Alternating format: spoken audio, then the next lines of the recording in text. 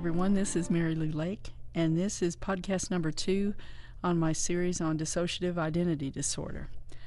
Um, I want to start by praying and asking our Father in heaven that He would just guide me as I convey this information. I ask you, Father, that you would um, give me the ability, the grace to bring this information forward, and that you would be able to use it to set people free.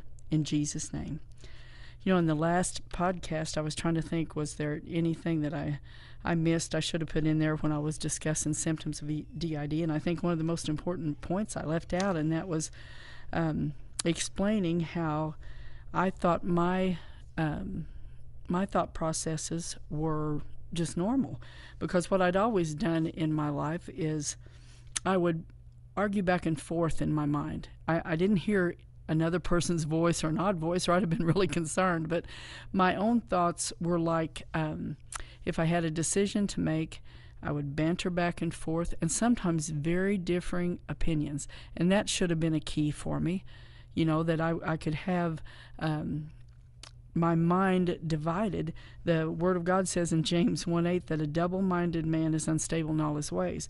And so, you know, just that scripture right there can tell you you can have uh, double mindedness. And I definitely did, but I honestly thought that was the normal way everyone thought until I had talked to my husband one day and explained that to him. And I said, Don't you think that way? And he says, Never. So, you know, I started realizing, okay, uh, this isn't the normal way that a person thinks. And so I wanted to talk about in this podcast some of those crucial things that God taught me during that eight months of bliss when I was just learning the Word and, and listening to Christian uh, TV and let you know how He was setting a stage for me uh, for what was coming that I had no idea about.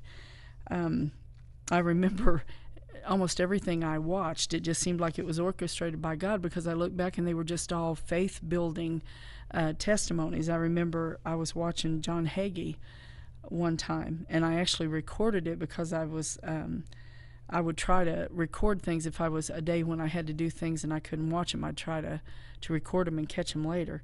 And uh, he was actually talking about um, years before. I think it happened in 1971. There was a Satanist that came into his church on a Wednesday night and had a gun, and um, it, he was describing what happened and how this guy, I think he shot six times, you know, point blank at him, and, and they didn't hit him. Um, and so it, it was those kind of things that were just faith builders. And little did I know that, you know, down the road I was going to have to have that kind of faith. I sure didn't know it at that time. Um, and so I, I really started reading the Word for the first time in my life. And I, I started to recognize as I, I read through the Old Testament and that I, I had. Um, in my mind divided Almighty God from Jesus.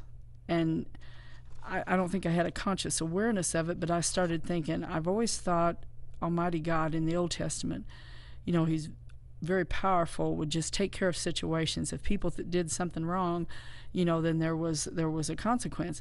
And then I had somehow Jesus was in my mind as weak, and all He did was show mercy. So once I started seeing that I had that difference, um, God started uh, a process of me realizing that the God of the Old Testament is Jesus. And I don't know if other people ever have that thought process or not. But once I, I came to that conclusion, it was almost like something, um, you know, was conjoined that needed to be conjoined in my in my spirit in my in my soul that I could I could grab a hold of and understand more of the word from that perspective. And you know there may be people that ha- that have that picture of a weak Jesus hanging on the cross. And if that's the case then then you don't have all the truth you need. Um, if you're going to be in a, a spiritual battle you have to understand how powerful Jesus was and that he is almighty God come in the flesh you know and if you if you picture jesus and and you're just thinking about he was hanging on a cross uh, weak you know overpowered then it's not the right perspective and let me tell you why um, if you if you consider that that's that jesus was almighty god come in the flesh you have the creator of the very um, elements that are holding him the wood, the, the nails. The, the very molecular structure is holding the creator. And it was like I could see all of a sudden that it wasn't the wood and the nails that were holding him because it was almost like I sensed a vibration that they could barely hold together. That the, the power of God was so strong that, that Jesus held them together. He held them, they didn't hold him. And so that was kind of a, a shift in my thinking that, that helped. And I, um, I was thinking, you know, it, we just envisioned that this this defeat was on Jesus, but he was he was following um, the instruction of the Father as the Son. And you know, he even said in in Matthew when they when they came after him, uh, and of course one of the uh, Peter had um, struck the the ear off of one of the people coming after Jesus. And Jesus says to him, Thinkest thou that I cannot pray to my Father, and he shall presently give me more than twelve legions of angels? You know, there, that's how many angels would have come to help Jesus. All he'd had to have done is just said, said, Father, send these angels. And it wouldn't have happened. He knew he had to follow the will of God. And to show you the kind of power that was on Jesus, and that when the same account is repeated in John 18, um, it says in verse 4 it says jesus therefore knowing all things that should come upon him went forth and said unto them whom seek ye they answered him jesus of nazareth jesus saith unto them i am he and judas also which betrayed him stood with him as soon as he had said unto them i am he they went backward and fell to the ground which means the power was so great there they couldn't even stand and see, that doesn't go along with a powerless Jesus beat up and hanging on a cross. You know, Flavius Josephus was a historian at the time, and he said that that uh, Jesus looked like what could be uh, compared to just raw meat. You know, all of the sin, everything that came upon him, everything that he bore. And, you know, this had to be one of the most excruciating, painful deaths. Um, but the Bible says that he saw the prize that was set before him and he endured the cross. And, you know, I've said this before that, that he looked ahead. He saw every one of you. He saw that little child that was in so much torment that it fractured their mind. But he said, I'll take this pain and I'll die so you can be free, so I can make a path to freedom for you. And that's that's the powerful Jesus that we need to picture because he he could have stopped that. He was willing to endure that, had the strength to take that kind of pain and stay there so that it could be finished and he can make a way.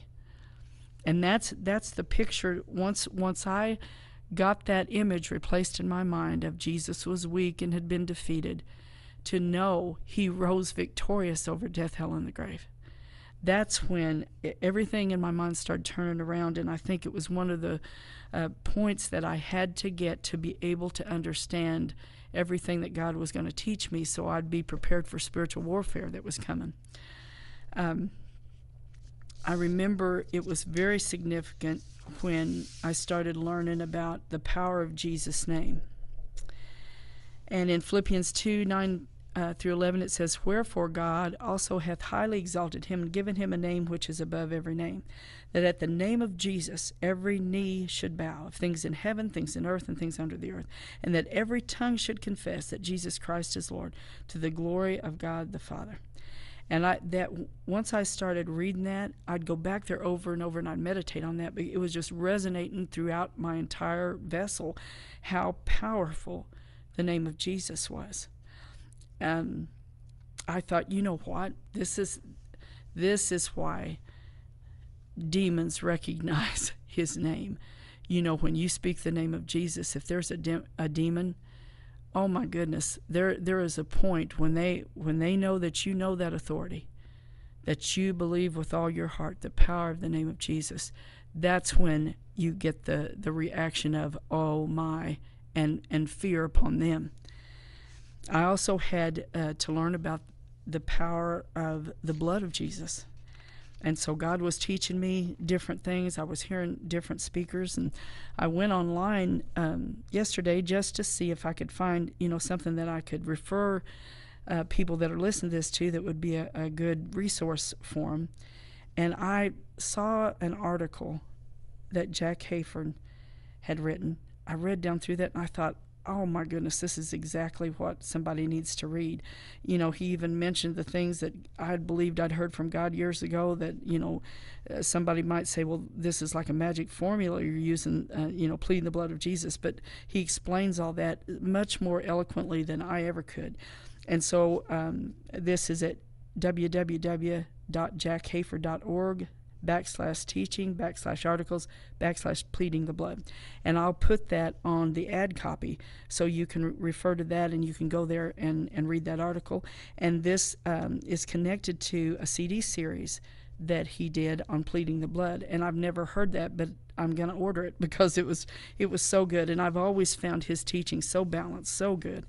And so i wanted to to offer that for people so you can get that you know the that uh, truth about the power of, of, the blood of Jesus, the truth of the love of Jesus.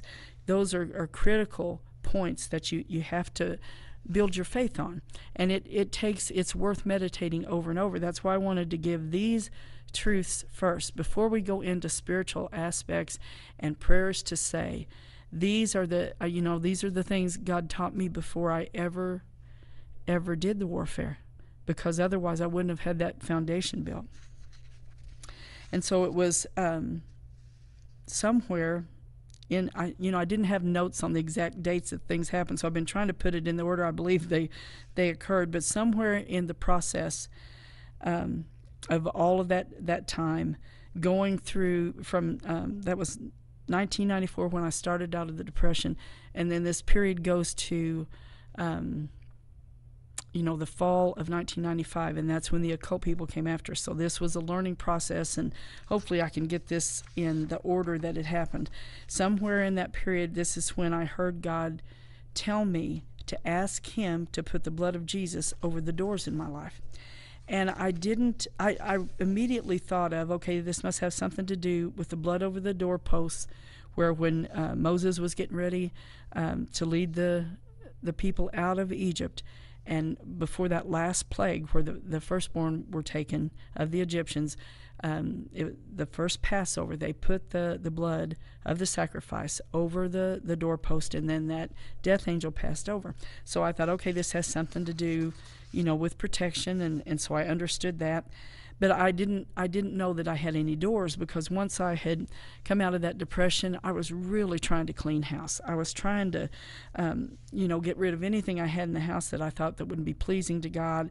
Any movies I thought, well, that's probably not appropriate, you know, for somebody that's just really wanting to serve God and be a, a you know, not bring reproach on on God. I I had started. Um, looking at even the movies that I let my kids watch and things like that. So I was, you know, trying to clean myself internally, trying to clean my, my house. So I really didn't understand why I would have to put the blood of Jesus over doors, but I had no clue how many doors I had open. But so God was so merciful, He gave me a prayer I didn't even understand, but I just was obedient and I and I said it, and I think that that probably kept us safe many, many times by God having us say that prayer. And later, I, would read a book by Bill Schnoebelen called Blood on the Doorposts, and that was a confirmation to me because uh, Bill Schnoebelen had uh, formerly been in the occult, and that was a very informative book at that time for me. At some point, God also told me to put, uh, plead the blood of Jesus over my eyes and ears, and that that's actually the the main way that you're going to be accessed if you're a mind control victim. Um, your programming can be accessed through what they call triggers. And this can be in person or even something you watch. It can be hand signals, words, um, codes. It can be um, this one I saw with my eyes. I, I've witnessed this several times where a person opens their eyes extremely wide and I, I've saw I've seen that switch a person that they're with. Um, and so it's it's things like that that I started to see and started to, to pick up on. Okay, these are um, these are things that would normally, you know, cause programming to kick in. But by the blood being applied, it was like God was showing me how to have faith that there would be a screen there, that the victory that is with the blood of Jesus, the power that's there, was going to stop, you know, programming being kicked in. And I'd also, um, now I'd never had this before until I started getting healed, um, but I started having tones in my ear. Um, and then then sometimes following that tone that I would hear, there'd be like a small electrical current in my brain that I, I could just have that sensation going like in a little line. Um, and I think that, that that was supposed to trigger a switch um, to where you would switch to another personality. And so what I would do is I would um, plead the blood of Jesus to the point that that tone was originating from and to anything it opened up in my mind. Uh, those were things that I just learned along the way. I also think um, that there are signals that your brain can pick up um, through frequencies, or you. I believe you can have an implant. You know, I was told that many uh, nurses in hospital nurseries are placed there by the occult. And if you've seen any of the information about technology now, about there's one uh, corporation I think that is having these little um, implants put in the hand of the of the employees to where it's like an ID chip or something. Well, they always say that whatever they present to the public, it's 30 years behind. So imagine they probably have had for years tiny, tiny little um, maybe radio receivers that could that they could have placed up babies' noses in, in the nurseries. I mean, there's all kinds of things like that that that as we go along through the uh, podcast, we'll discuss more and and you know the preventative prayers that we can say. Um,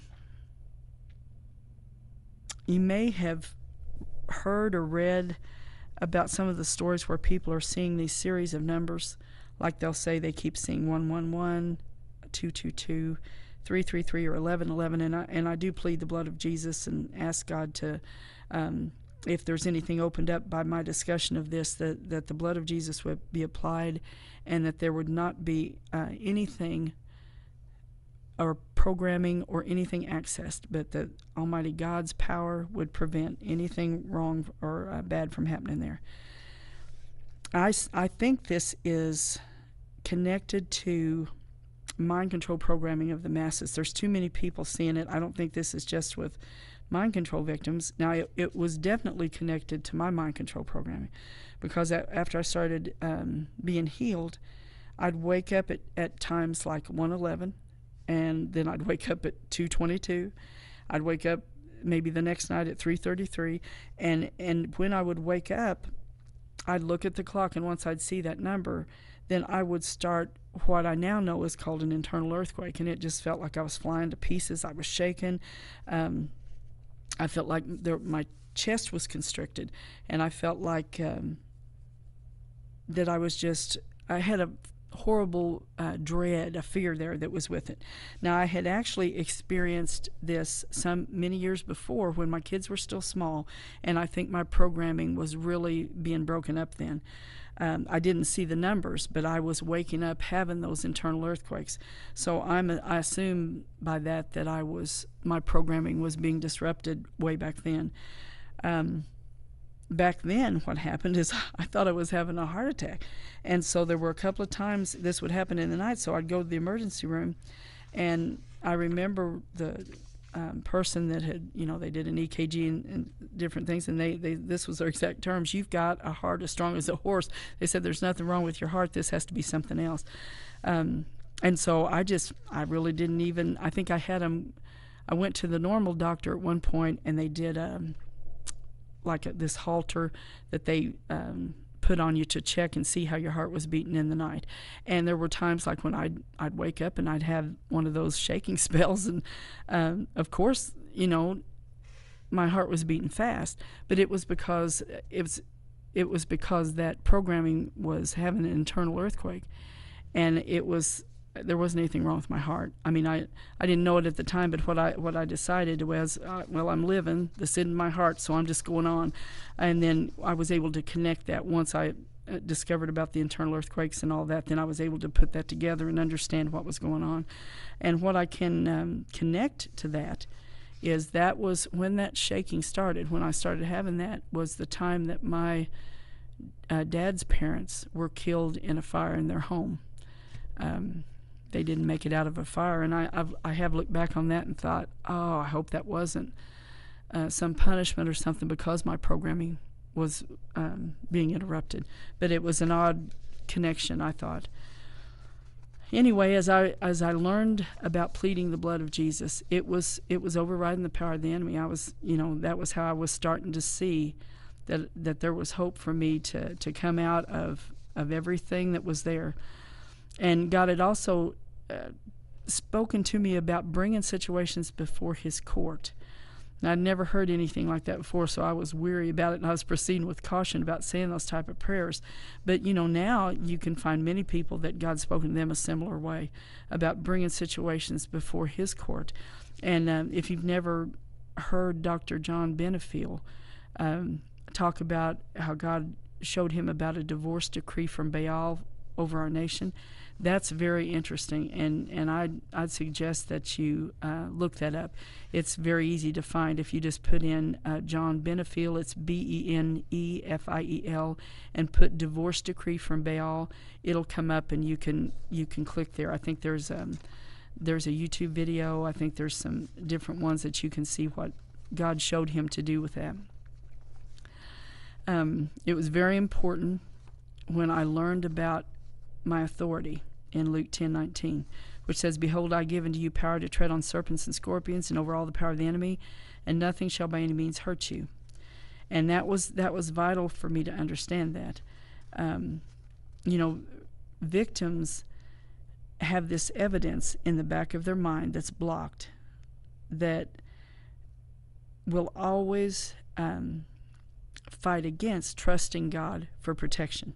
And that's obvious because if you've been a child and you've had these horrible things happen to you and you've never seen these people stopped, you've never seen anything um, overpower them or anything stop them from accomplishing what they say they're, they're going to do, then there's going to be an internal um, protection to not trust anybody um, because you've never you've never seen safety. And so it was really important for me to understand about the authority and to even understand the, the very basic of where when Adam was in the garden and God had given him dominion, then when he fell, he lost that authority. But when Jesus rose victorious over death, hell, and the grave, he took the authority back and he gave us his authority. And that's what Luke 10:19 we can stand upon. And, and so I just started meditating on that verse. I knew that there were certain verses I could just sense in my spirit that there were things I had to have faith with. And so once I received the truth about the authority, then I, I was learning to walk. He was teaching me to walk in the safety of the kingdom of God and how to stop Satan's assaults. You know, I, I think victims will always have one or both of these beliefs internally based on the evidence of what they've lived through, the blocked memories that are there, and, and the gatekeeper parts, which um, I'll go into that more in our next podcast. But, but it, um, I believe the gatekeepers can see everything that's happened to you, and they see forward, and their their function is to make sure that none of the blocked memories bleed over to the front, that no one accesses them. Um, so that you can continue to be functional and you won't have um, all of the horrible emotions flow through that are attached to that. But the, but at the same time, a gatekeeper is analytical, and and they will be thinking, okay, the Word of God, I can see the Word of God says this, but then explain to me the evidence of what's happened in the back here. And so usually you'll have, you know, one or both of, of these beliefs that Satan must be more powerful than God based on this evidence, or that God doesn't love the person because he didn't protect him. And so, as I was going through the process of understanding I was a victim, there were a couple of questions that I heard, which I believe was, was a gatekeeper asking these questions. And I pray that God will allow these truths to break the power of the lies of the enemy with anyone that's that's listening that may have gone through this. And my first question internally was if God loves me, why did he put other girls in safe homes and he put me in a Stephen King movie? And that was exactly how it was spoken. And I heard immediately the answer. And I heard the scripture where uh, the word says that we were fearfully and wonderfully made. And I heard the Holy Spirit say that it took those two sets of genes from your parents at the precise time of conception for me to meet the design that God had for me. And even though I was born under evil authority, where the kingdom of God was not operating, that He started to plan right then to deliver me. And, you know, without understanding that man has been given authority, and the only way to stop these evil things is for someone to pray, someone to intervene, someone that's walking in the kingdom of God to apply the principles. Well, it's very hard for somebody to pray about something that no one can see is going on. And it's one of the traps by it being hidden, by it being concealed and cloaked, is that is that the kingdom of God was hindered by that fact because of course God wanted to intervene. And the second question I heard was why didn't he stop the people from hurting me? And this is what I heard. If I had stopped the hearts of everyone there, where would they have put you? And so I sat and I thought about that and I thought, okay, if this is my family or victims and, and no one has any control over this, if God would have stopped everyone's hearts, I would have been standing there alone. All the kids would have been there. Um, where would they have put us? They would have just put us in another sect somewhere, another controlled family. And this way, um, I was with my family that loved me with and and made the best home that they could in those crazy circumstances. So there was such a release in me when I heard that. I it was it made sense. I was able to put it together and all of a sudden I thought, okay. And what went through my mind was this thought, I'm not a little girl anymore. I'm not under anybody else's authority. I am beyond the reach of anyone to harm me because I will take authority. I'll use the principles in God's Word and I will be safe. And it was a very crucial time with that information. And I pray that that helps anyone listening. Um, and then, then there was uh, once I just decided, you know, once I understood that that how this this works, that you can have parts of, of your mind that are slaves that, that aren't able to stop you know, being accessed and different things like that.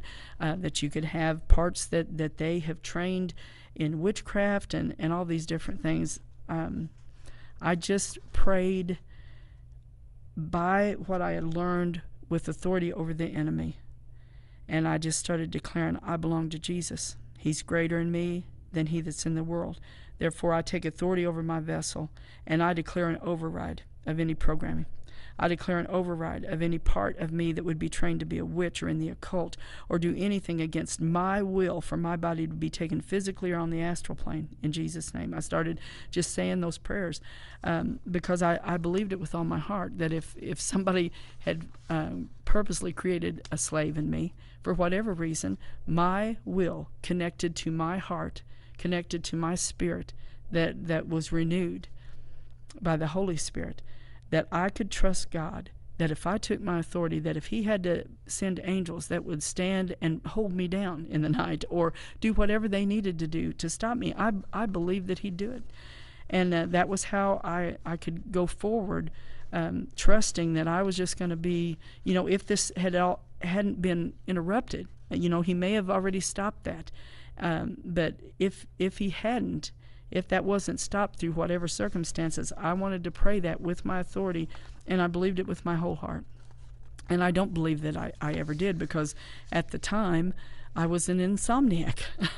you know, once uh, I had my youngest daughter, she kept me awake for four years. That poor baby, she just cried all the time, and I'd take her to the doctor, and they couldn't find anything wrong.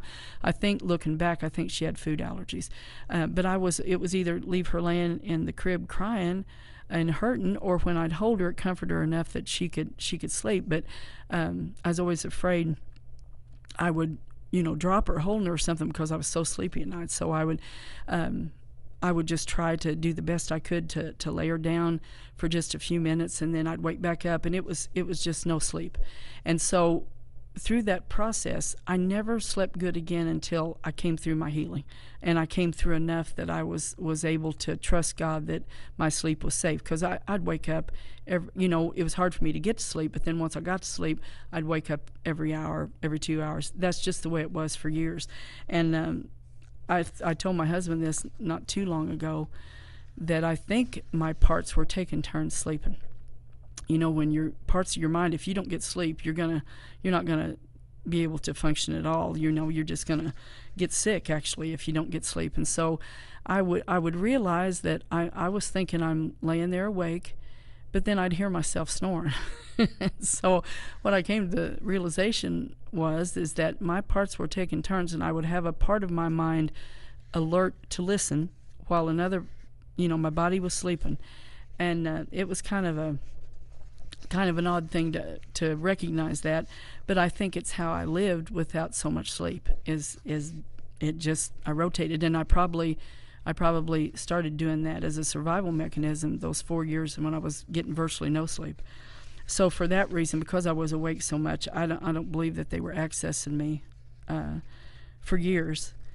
But anyway, I, I said those prayers and fully believed that, that God was would do what He needed to do as I took authority. And the next thing that was very, very important that I learned was binding and loosing. In Matthew 16, 19, it says, And I will give unto thee the keys of the kingdom of heaven, and whatsoever thou shalt bind on earth shall be bound in heaven, whatsoever shalt thou shalt loose on earth shall be loosed in heaven. Um, I know there's lots and lots of different ways of looking at that verse, and a lot of people don't believe it means that you can bind the enemy. Um, I recently got an email from somebody that was trying to correct me and say that you couldn't bind. There was no such thing as a generational curse, and so there's lots of people that, that don't understand this. But um, if you want to hear uh, more specific um, teaching on binding and loosing, my husband and I did a podcast where we addressed that. It's uh, KIB 63. You can go on our website and um, and punch in the KIB 63, and when you listen to that, that that's a, a good one to listen to if you've not heard a teaching on binding and loosing. Um, the next thing that I want to talk about was uh, something that was a, I cannot remember the exact timing of when this happened, but it was before I knew that there was witchcraft in my family. I'd heard someone in all the teachings that I'd listened to, I heard someone teach on a Jezebel spirit. I can't remember who that was, or I'd give them credit, but it was a very good teaching. Uh, and, you know, they described how Queen Jezebel is the wife of King Ahab. And they, you know, I went through all the scriptures where she was an evil queen that worshipped Baal. Um, it read the story about the uh, story of Naboth, where her husband King Ahab wanted the vineyard that he had, and Naboth wasn't going to to let him have it because it was his inheritance. And so what Jezebel did was she um, she brought people in. She had them lift him up before the people and then um, they she had him destroyed and swear Ahab could get that get that land. And so when you when you hear about a Jezebel spirit, it refers back to the type of spirit that was in control of her through that Baal worship, and it's it always is connected to witchcraft, control, rebellion against godly authority, manipulation, and seduction.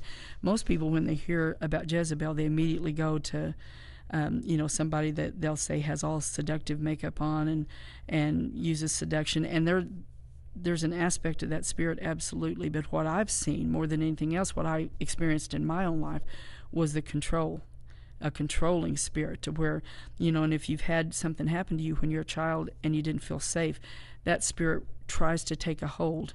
Um, i may have even been born with one to where where it's in the family line and they just try to control everything. And I can look back and and see that in my family.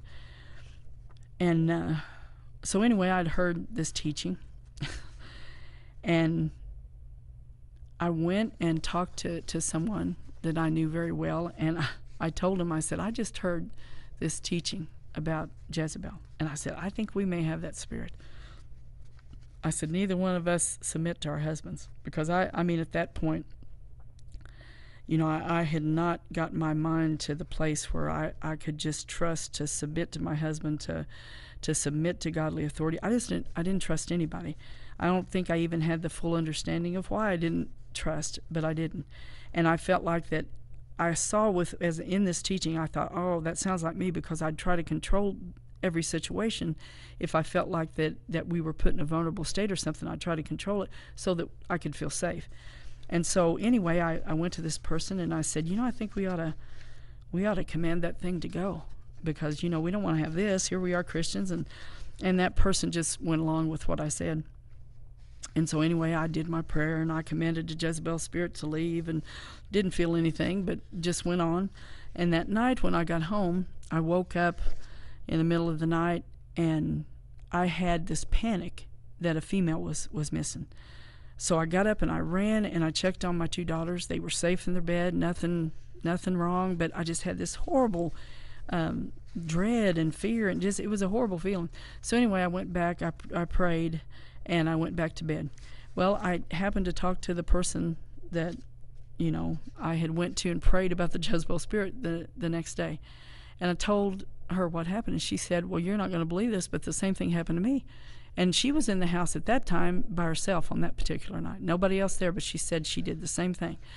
And at the time, I thought, well, how odd. And you know what? Looking back, I think it was is I think we did have a Jezebel spirit. I believe it left. Um, it had to, you know, follow the command and, and leave when I said that um, it it was not a good move on my part. I mean, I should have prayed that through. I should talk to my husband. I should, because um, you know, I was I was just full speed ahead into a time of healing, deliverance, but the other person wasn't, and so that was not a good move on my part. Um, but it, looking back, I thought, oh, that's exactly what happened because because we felt. I think what happened is is uh, those spirits become intermeshed with with your mind. And so you actually feel like that's not a spirit, that's you. So in our minds, I think we were sensing there's a female missing. Well, there was a female spirit missing, but we needed them gone, trust me. And so with each with each thing that I was learning, with each step that I took, God was showing me things that I needed to know that were essential. Um, what what I did after that is okay, I said I had a Jezebel spirit, so now I have to work to retrain myself to submit to godly authority. So I really uh, tried um, to submit to my husband at that point and, and try not to let fear overtake me and to stop trying to control situations. Just trust that God was in control of him and that, that God would keep me safe. And that's how I, I did that. I had another situation where um, we were attending a church at that time, and our, the kids in the youth group had kind of got into it. And so the women wanted to get together and see if we could talk it out. And the pastor, because he knew from all the different people talking to him that he couldn't share, reveal those those confidential um, conversations, he knew that this this could really turn out to be a bad thing. So he was trying to dissuade that. Well, we all went ahead and did it, and it was by the grace of God. that there wasn't fur flying, I can tell you, because uh, there were so many things being said. But anyway, after that, I was praying, and God told me, He said, uh, He said, Mary, you need to call that pastor and ask him to forgive you for not submitting to his his godly advice. And so I did it. I thought, oh, this is hard. But I called him up and I said, Pastor, this is what God's telling me, and I ask you to forgive me. Um, and he said, I already have. And that was that was a huge step for me because it was so hard to do.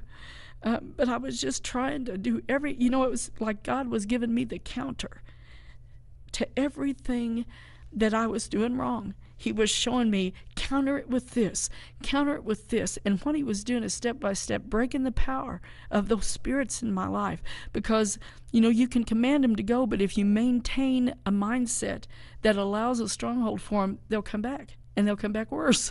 And so it was step by step, God was showing me how to close the doors, how to how to tear these things down.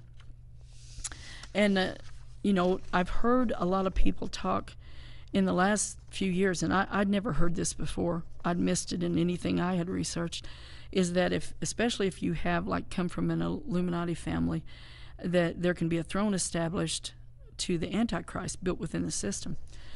And uh, I, I've looked back and I thought ah, that's probably why God. Not that I think I'm was an important Illuminati family. I, I think we were low level, whatever this was, uh, but I do think that that same spiritual um, that same spirit of Antichrist would esta- establish a stronghold within any victim. And so I started looking back to see uh, what God had done to counter that. Um, because a, a, spirit of Antichrist is going to be opposite of the mind of Christ. And I had, you know, I think what God did is he he was having me focus on others uh, without me understanding what he was even doing. But you know, the original prayer I, I prayed that started um, my healing was was I got my mind off me, and and I was thinking, oh, for my family's sake, God, please do something for my family's sake. And and I think it threw such a punch into to against the antichrist spirit that it enabled that period, that grace period I had, um, to learn the word and to get some strength. Um, and even one time when I was um, coming through my healing, and I was trying to talk to, to my husband about about things, and and uh, it just didn't seem like he was too interested, you know. So I was on this pity party, and I went to God and and uh, was complaining, you know, and I, I thought God was going to just pat my little head and say, "Well, honey, I know that," and God was so gentle with me, you know, He always was, but I heard Him say really clearly. He said, Mary, he said, Do you remember when you first married Mike and he wanted to talk about me and you told him that you didn't want to talk about that? Do you remember when you would get up in the morning before you went to work and he would put on praise and worship music and you told him you didn't want to hear it? He said, I want you to pray that I restore what you killed in him. And I'll tell you, folks, took me a minute to get off the floor because I, I remembered saying those things. I hadn't thought about it for years, but I, I thought, oh my word, I did do that. Um, and so anyway, I, it's just like I got this, you know, panoramic vision of how I'd been used by the enemy to stifle things with him. So I was finally able to get up off the floor, and and he had been taking um, a bath because he was really feeling bad. He'd been sick, and so um, he was in the, the bathroom that was next to the bedroom where I was praying, and I I uh, started praying. I said, "Oh God, please restore, restore anything that, that I've been used to tear down in him." And so I heard him saying something, and so I just went knocked on the door and I peeked in. I said, "You okay?" And he said, "I've not had the anointing on me like this in years." And I just fell to the floor and I asked him to forgive me because I could see all that I'd done. Uh, I think I'd been a dream crusher. You know, anything that that he God would give him to do. I think I think I was just so concerned that these people were uh, going to destroy us. I think that there would be this, you know, this uh, pressure to just try to try to get us to have like a life where we were just, you know, I wanted him to have a regular job, and because I felt like that was security, but our security was in, in him doing what God told him to do. I had no clue about that. I could see it, but it was, I just saw what Satan had used me for. And so that was a huge, huge breaking of, or, or smack in the face of that Antichrist spirit. And so I can look back and see how God allowed people to come to the ministry for me to pray for.